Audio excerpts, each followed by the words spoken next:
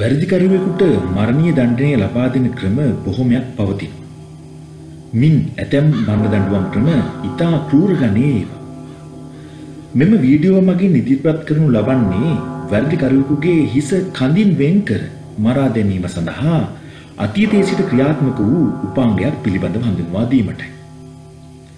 එය ගිලටීනය නම් වෙන. ගිලටීනය වඩාත් ප්‍රකට වන්නේ ප්‍රංශ විප්ලව සමයේදී. ප්‍රංශ විප්ලවවාදීන් තම ප්‍රතිවාදීන් ඝාතනය කිරීම සඳහා ගිලටීනය ඉතා බහුලව යොදාගනු ලැබුණා.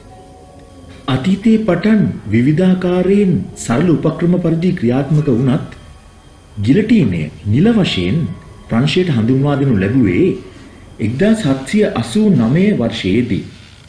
ඒ ජෝෂප් ඉග්නේස් ගිලටීන් නැමැත්තා විසින්. 1981 වසරේදී මරණ දඬුවම අහෝසි කරන තෙක්ම ප්‍රංශ රජය ප්‍රධාන වශයෙන්ම ගිලටීනය යොදාගනු ලැබුවා තම වැරදිකරුවන්ට මරණ දඬුවම ලබා දීම සඳහා. ප්‍රංශ අධිකරණය මගින් ගිලටීන මරණ දඬුවම අවසන් වරට ලබා දෙනු ලැබුවේ 1977 සැප්තැම්බර් මාස 11 වෙනි දින. ඒ වැරදිකරු හමීඩා ජැන්ඩුබීට එරෙහිව.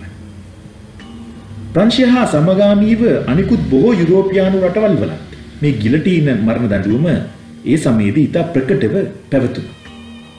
අපි දැන් බලමු ගිලටීනයක් යනු මොන වගේ දෙයක්ද කියලා. ගිලටීනයක් ව්‍යුහාත්මක වශයෙන් සමාන වන්නේ පන්සල් තුල දක්නට ලැබෙන ගාන්ටාර කුළුණකට. මෙය දැවෙන් නිම වූ ව්‍යුහයක්. මෙම ව්‍යුහයේ ඉහළ කෙළවරේ ඊටමත් තියුණු ලෙස කැපෙන ලෝහමය තලයක් රඳවා තිබෙනවා. මරණ දඬුවම දීමට නියමිත පුද්ගලයා මෙම ව්‍යුහයේ එම ලෝහමය තලයට යටින් රඳවා තබනවා. එම ලෝහමය තලය නිදහස් කළ විට කෙලින්ම පතිත වන්නේ එම අදාළ පුද්ගලයාගේ හිස මතටයි. එවිට එමගින් පුද්ගලයාගේ හිස කඳින් වෙන් කරනු ලබන. ගිලටීනයක් මගින් මරණ දඬුවම ලබා දුන් සුප්‍රකට පුද්ගලයින් අතර ප්‍රංශයේ 16 වන ලුයි රජතුමා සහ මාරි ඇන්ටනට් රැජින ප්‍රමුඛ ස්ථානයක් ගන්න. ඔබට මතකද මාරි ඇන්ටනට් රැජින? අර පාම්බැරි නම් කේක් කාපල්ලා කියපු රැජින? එතුමියව 1793 ඔක්තෝබර් මාස 16 වෙනිදී ගිලටීනයක් මගින් මරණයට පත් කරනු ලැබුවා.